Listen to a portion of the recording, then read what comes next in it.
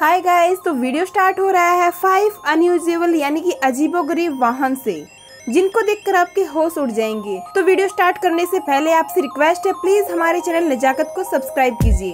तो चलिए guys start करते हैं।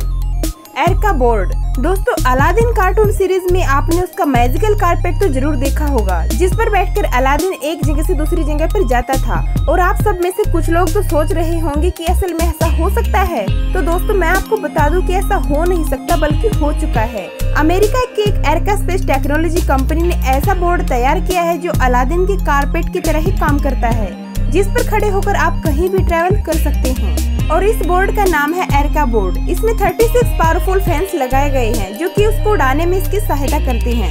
दोस्तों, एरका बोर्ड अभी टेस्टिंग फ़ेज़ में है, लेकिन कंपनी का कहना है कि जल्द ही इसे मार्केट में सेल करने के लिए लॉन्च किया जाएगा। एच टी ओ सलेंडर दोस्तों, इस व्हीकल को बनाया गया है फिलीपींस की कंपनी एच टेक्नोलॉजी ने। ये ऑटो रिक्शा जैसा दिखने वाला व्हीकल ज़मीन के साथ साथ पानी में भी बड़ी आसानी से चल सकता है। इसमें 200 क्यूबिक सेंटीमीटर के गैस इंजन लगाए गए हैं, जो कि इसको 13 हॉर्स पावर की ताकत देते हैं। ज़मीन पर इसकी maximum speed 60 kilometre per hour है और पानी में इसकी स्पीड 11 किलोमीटर पर आवर चलाई जा सकती है। दोस्तों, सड़क पर ये व्हीकल छह लोगों को बिठाकर चलाई जा सकती है और पानी में सिर्फ़ चार लोगों को बैठाकर आसानी से चलाया जा सकता है। और इसको चलाने के लिए आपको किसी भी तरह की ट्रेनिंग या स्पेशल लाइसेंस की ज़रूरत नहीं पड़ेगी। सच बताऊँ दोस्तों, मुझे तो ये रिक्शा बहुत ही अमेजिंग लगी, जिसको हम बाढ़ में भी इस्तेमाल करके लोगों की जान बचा सकते हैं। इस वाहन पर आपके क्या राय है? हमें कमेंट करके ज़रूर बताएँ।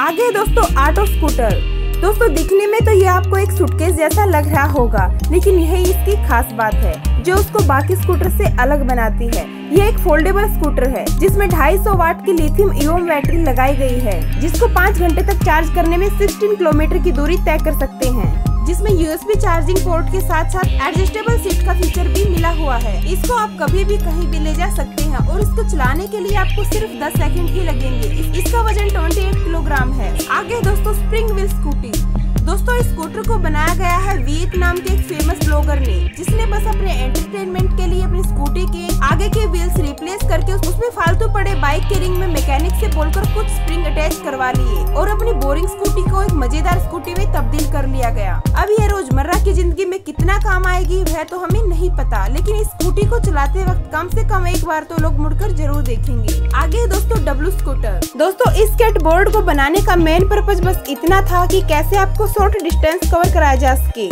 वह भी मज़े करते हुए। वैसे तो आपको यह स्कूटर नॉर्मल स्केटबोर्ड जैसा दिखाई दे रहा होगा, जैसे कि बाकी स्केटबोर्ड में चार छोटे वेल्स लगे होते हैं। इसमें सिर्फ़ तीन वेल्स लगे हुए हैं। पर जो बात इसको नॉर्मल से स्केट बोर्ड से अलग दिखाती है, वह यह है कि इसको आप अपनी कमर पर बांधकर कहीं भी किसी भी वक्त ले जा सकते हैं और इसे आसानी से खोलकर इस्तेमाल कर सकते हैं। दोस्तों, आपको यह वीडियो कैसी लगी हमें कमेंट करके ज़रूर बताएँ और आपसे रिक्वेस्ट है कि प्लीज़ अगर आपने अभी तक हमारे चैनल को सब्सक्राइब नहीं किया है तो प्लीज़ सब्सक्राइब कर दे और शेयर करके हमें सपोर्ट ज़रूर करें ताकि ऐसे ही इंटरेस्टिंग वीडियो हम आपके लिए लाते रहें। तो मिलते हैं नेक्स्ट वीडियो में। अपना कीमती समय देने के लिए बहुत बहुत धन्यवाद।